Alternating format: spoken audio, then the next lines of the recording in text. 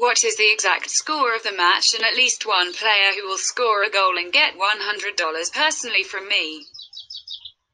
Leave the answers in the comments. Subscribing to the channel and liking the video are also required. We register by reference in the attached comment. Enter the promotional code. We get an advance rate on your account. Romania kick off their UEFA Nations League campaign with a home match against Northern Ireland at Arena Națională.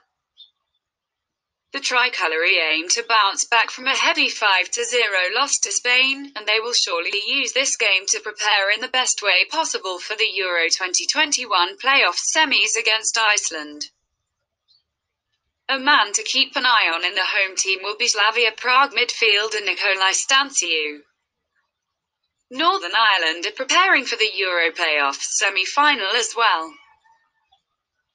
The Green and White Army are likely to adopt a defence-minded approach in Friday's football game, but preventing Romania from scoring in Bucharest is easier said than done.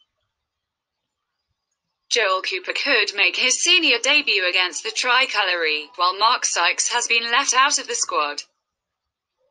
In their last meeting in Bucharest Romania recorded a 2-0 win over Northern Ireland, and the history is likely to repeat itself.